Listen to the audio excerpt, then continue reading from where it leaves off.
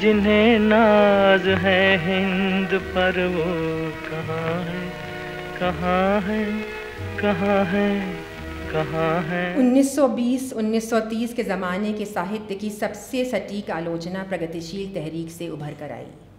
मुंशी प्रेमचंद ने 1936 की ऐतिहासिक मीटिंग के प्रेसिडेंशियल एड्रेस में कहा था, हमें सुंदरता की कसौटी बदलनी होगी। अभी तक ये कसौटी अमीरों और विलासिता के ढंग की थी।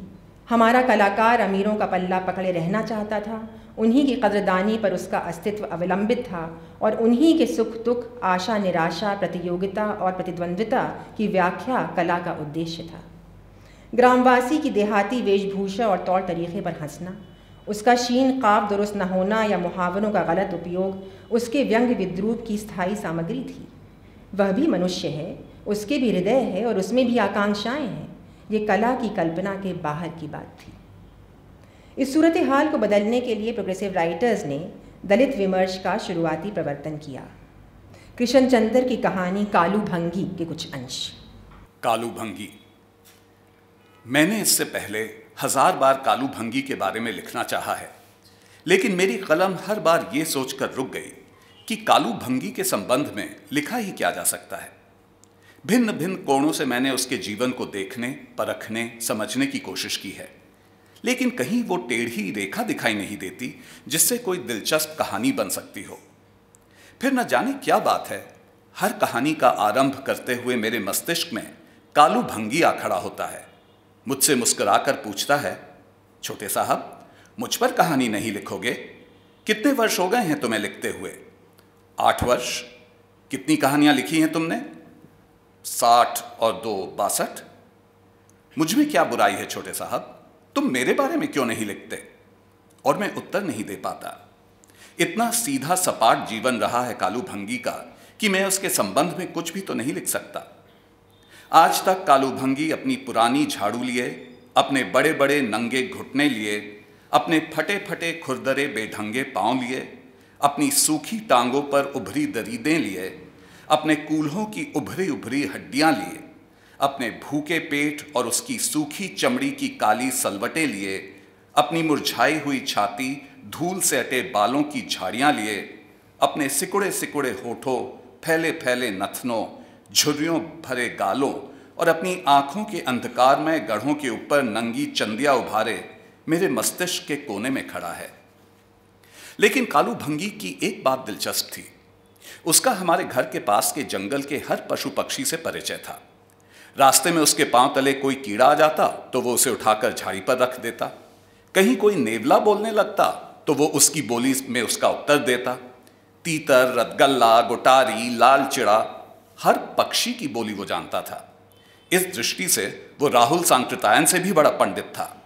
और फिर वह मक्की का भुट्टा ऐसा मज़ेदार तैयार करता था और उसे इस तरह हल्की आँच पर भूनता था जैसे वो वर्षों से उस भुट्टे को जानता हो। एक मित्र की तरह वो भुट्टे से बातें करता, इस नरमी और प्यार से उससे पेश आता, जैसे वो भुट्टा उसका अपना संबंधी या सगा भाई हो। और लोग भी भुट्टा भूनते थे, लेकिन वो बात कहाँ? कालू भंगी के हाथों में पहुंचकर वही भुट्टा कुछ का कुछ हो जाता। और जब वो आग पर सिक कर बिल्कुल तैयार हो जाता तो बिल्कुल एक नई नवेली दुल्हन की तरह शादी का जोड़ा पहने सुनहला सुनहला चमकता नज़र आता। मुझे कालू भंगी के हाथ के सिके हुए भुट्टे खाने में बड़ा आनंद आता था और मैं उन्हें बड़े मज़े से छुप छुप कर खाता था। एक बार पकड़ा गया तो बड़ी ठुकाई हुई। बेचारा कालू भी पिटा, लेकिन दूसरे दिन वो फिर बंगले पर झाड़ू लिए उसी तरह हाजिर था। लेकिन इसके अलावा, कालू भंगी, मैं तुम्हारे बारे में क्या लिख सकता हूँ? मैं यहाँ के प्रत्येक व्यक्ति के बारे में कुछ न कुछ अवश्य लिख सकता हूँ। लेकिन तुम्हारे संबंध में इतना कुछ कुरेदने के बाद भी समझ में नहीं आता कि तुम्हारा क्या किया जाए। भगवान के लिए अब तो चले जाओ, बहुत सता लिया तुमने। मैं एक नई कहानी गढ़ सकता हूँ, एक नया मनुष्य नहीं गढ़ सकता। उसके लिए मैं अकेला काफ़ी नहीं हूँ। इसके लिए कहानीकार और उसका पढ़ने वाला और गाँव के पटवारी और नंबरदार और दुकानदार और शासक और राजनीतिज्ञ और मजदूर और खेतों में काम करने वाले किसान प्रत्येक व्यक्ति की लाखों, करोड़ों, अरबों व्यक्तियों की इकट्ठी सहायता चाहिए। मैं अकेला विवश हूँ, कुछ नहीं कर पाऊँगा। जब तक हम सब मिलकर एक दूसरे की सहायता न करेंगे, ये काम न होगा। और तू इसी प्रकार अपनी झाड़ू लिए मेरे मस्तिष्क के दरवाजे पर खड़ा रहेगा और मैं कोई महान कहानी न लिख सकूँगा। जिसमें मानव आत्मा का पूर्ण उल्लास झलक उठे। और कोई मेमार महान भवन न बना सकेगा, जिसमें हमारी जाति की महानता अपने शिखरों को छू ले।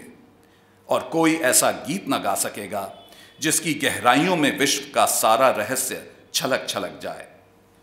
ये भरपूर जीवन संभव नहीं, जब तक तू झाड़ू लिए यहाँ खड़ा है। अच्छा है, खड़ा रह। फिर शायद कभी वो दिन आ जाए कि कोई तुझसे तेरी झाड़ू छुड़ा ले और तेरे हाथों को नरमी से थामकर इंद्रधनुष के उस पार ले जाए। Progressive writers Indian people's theatre association यानी इप्टा के थिएटर और फिर सिनेमा से भी जुड़े और यथार्थवाद के नए सिनेमा को मज़बूत किया। महिलाओं के हक, जातिवाद, किसानों और मजदूरों की दुर्दशा, वर्ग संघर्ष, सांप्रदायिकता, समस्याओं से जूझने के सामूहिक प्रयास ये सब पूरे मुल्क के मुद्दे माने गए और नए सिनेमा में दर्शाए जाने लगे। Khwaja Ahmad Abbas Sahir Ludhianvi Majrooh Sultanpuri, Prem Dhawan, Shailendra, Kaifi Azmi V P Sathe, progressive writers movement से जुड़े थे। बंगाल के अकाल पर 1946 में बनी ख्वाजा अहमद अब्बास की मशहूर फ़िल्म, धरती के लाल, के बनाने में इप्टा की यूनिट्स का बड़ा योगदान है। इसी फ़िल्म से वामिर जौनपुरी का लिखा गीत।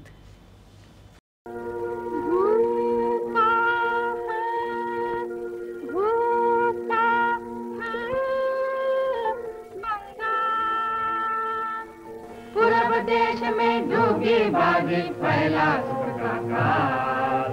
सुख की अग्नि कौन बुझाए? सुख गए सब जिन हाथों ने मोती रोले, आज वही कंगाल मुसाफिर आज वही कंगाल। भूखा है बंगाल, भूखा है बंगाल। कोटरियों में गाजे बैठे, बनिए सारा नाथ कोटरियों में गाजे बैठे बनिए सारा ला सुंदर नारी भूख की मारी बेचे घर घर ला। सुंदर नारी भूख की मारी बेचे घर घर ला।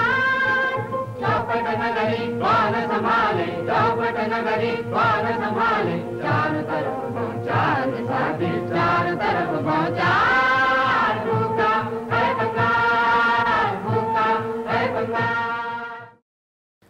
फिल्मी संगीत की बात बिना साहिर लुधियानवी का ज़िक्र किए नहीं की जा सकती। उन्होंने आवाम की उम्मीदों को फ़िल्मों, फिल्मी गीतों में ढाला। ले दे के अपने पास फ़कत एक नज़र तो है। क्यों देखें ज़िंदगी को किसी की नज़र से हम? माना कि इस ज़मी को न गुलजार कर सके। कुछ खार कम तो कर गए, गुजरे जिधर से हम। साहिर जनता के शायर थे और उन्होंने अपने फ़न से फिल्मी संगीत और इनकलाबी शायरी दोनों को संवारा। उनका लिखा प्यासा फ़िल्म का मशहूर गीत। ये पूछे ये नीलाम घर दिल कशी के ये लुटते हुए कारवा ज़िंदगी के कहाँ है कहाँ है मुहाफिज खुदी के जिन्हें नाज है हिंद पर वो कहाँ है? और साहिर की एक नज़म। अब तक मेरे गीतों में उम्मीद भी थी, पसपाई भी, मौत के कदमों की आहट भी, जीवन की अंगड़ाई भी। मुस्तकबिल की किरणें भी थीं, हाल की बोझल, जुल्मत भी, तूफ़ानों का शोर भी था और ख्वाबों की शहनाई भी।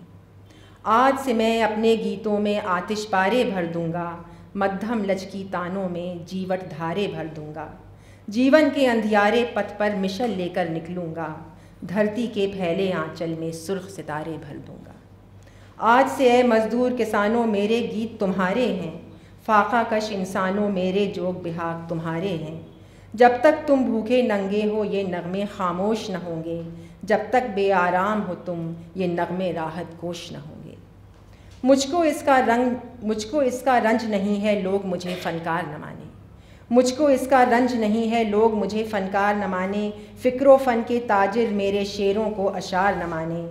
मेरा फ़न मेरी उम्मीदें, आज से तुमको अर्पण हैं। आज से मेरे गीत तुम्हारे दुख और सुख का दर्पण हैं। तुमसे कुव्वत लेकर अब मैं तुमको राह दिखाऊँगा। तुम परचम लहराना साथी, मैं बरबत पर गाऊँगा। आज से मेरे फ़न का मकसद जंजीरें पिघलाना है। आज से मैं शबनम के बदले अंगारे बरसाऊँगा।